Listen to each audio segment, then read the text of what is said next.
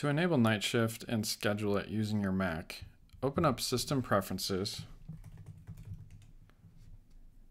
navigate to Displays, and then go over to Night Shift. From here, you can see that you can schedule it with a few options. Either it's off, it's custom, where you can set your own times, or you can have it scheduled from sunset to sunrise.